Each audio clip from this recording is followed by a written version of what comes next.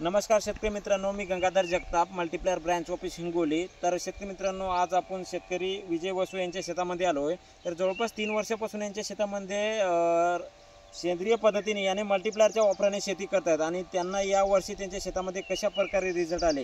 तर यावर्षी सुद्धा त्यांनी त्यांच्या शेतामध्ये मल्टीप्लायरचा यूज केला आहे तर आपण थोडक्यात आणा त्या शेतकऱ्यांना मल्टीप्लायरच्या रिझल्टबद्दल थोडक्यात अनुभव विचारून घेऊ. तर नमस्कार. नमस्कार. तर सर्वप्रथम तुमचं नाव सांगा. माझं नाव विजय कुंडलिक वस्तू. अ, किती वर्षापासून मल्टीप्लायर वापरता तुम्ही? अं, तीन वर्ष झाले. तीन वर्ष झाले. तर यावर्षी तुम्ही तुमच्या या प्लॉटमध्ये सोयाबीनची लागवड केलेली आहे. तर दरवर्षी अ, आपलं सॉरी यावर्षी तुम्ही अ, खतामध्ये सुद्धा मिक्स केलेले आहे तर ते हो. कशा पद्धतीने केले? अं, खता म्हणजे एकरी पंचवीस किलो खत डीएपी हां. आणि त्यात मल्टीप्लाय एक किलो एकरी. मिक्स करून टाकलेलं आहे. तर आणि याच्यावर आता एक स्प्रे सुद्धा झालेला आहे. हो, त्याचा. अनुभव काय आला तुम्हाला? स्प्रे म्हणजे जैविक असल्यामुळं आता आळी पण नाही आणि ते औषध चांगलं आहे जैविक.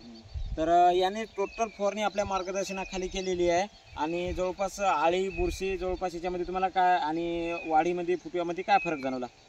चांगला प्रोडक्ट आहे जैविकचं. आळी आळी नाही काय नाही वाढ चांगली आहे.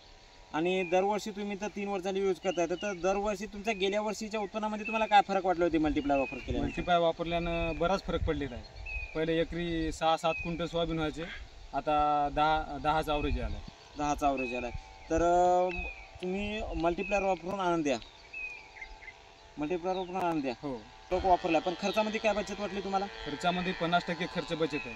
पन्नास टक्के खर्च पन्नास बचत. टक्के. आणि उत्पन्नामध्ये शंभर टक्के? उत- उत्पन्नामध्ये शंभर टक्के उत्पन्न आहे. तर शेतकरी मित्रांनो अधिक माहितीसाठी संपर्क करा. Multiplier branch office Sarthak automobile जवळपाशी road Hingoli. धन्यवाद.